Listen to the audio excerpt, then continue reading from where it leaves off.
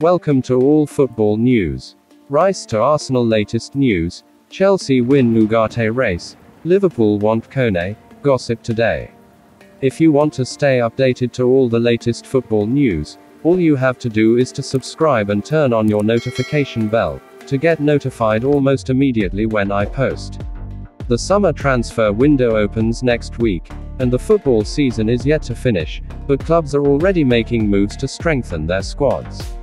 Arsenal are desperate to go one better than this term after their late title race collapse, while Chelsea and Tottenham simply must improve after dismal campaigns. The Blues have already made big changes with the appointment of Mauricio Pochettino as their new manager, and he will not be wasting any time having already earmarked six midfield targets. Manuel Ugarte has reportedly agreed to a six-year contract in a £52 million switch from Sporting CP, though Barcelona and Paris Saint-Germain are also in the mix. The future of Mason Mount needs to be resolved, while Christopher Nkunku will come in.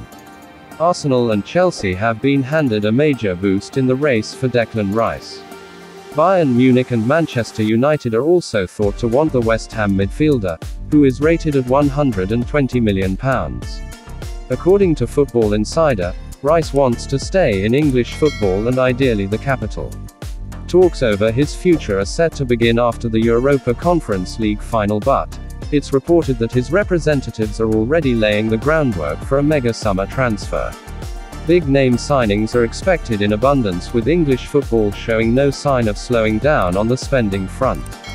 For Arsenal, a £200 million plan could include deals for Declan Rice and Moses Caicedo, as Granit Xhaka nears a move away, though Bayern Munich have tabled a huge bid for Rice and PSG want Martin Odegaard. Manchester United look to have agreed their first summer signing in Kim Min Jae, and interest in Tottenham striker Harry Kane persists. Follow all the latest transfer news, rumors and updates with all football news. Thanks for watching, please do like and drop your comment in the comments section below. And don't forget to subscribe to stay updated to all latest football news, thank you.